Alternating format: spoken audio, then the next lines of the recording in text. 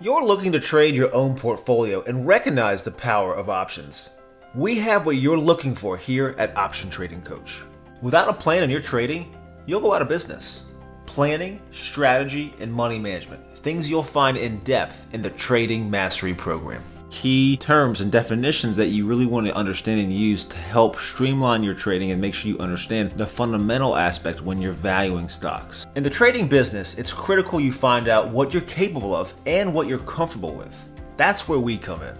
Once you know yourself as a trader, you'll be able to design your trading education as you see fit. We welcome you to attend an upcoming complimentary webinar. Click now to register. We look forward to fulfilling your trading and investing needs.